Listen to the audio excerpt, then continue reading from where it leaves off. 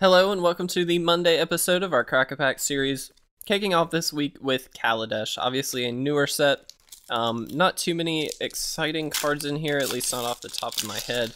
Uh, but hey, maybe we'll get something awesome.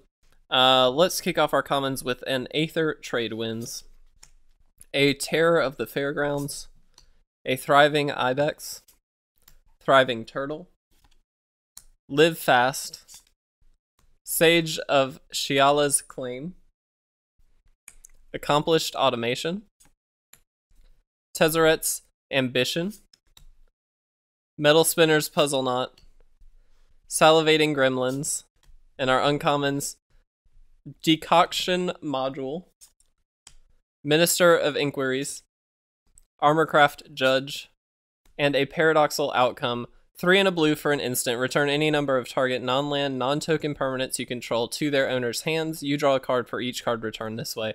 This is actually a really great legacy card for Legacy Storm. Uh, it's become its own deck, so I'm actually happy to see that, although I already have a playset. Unfortunately, it's also not worth that much, but it is a very good card.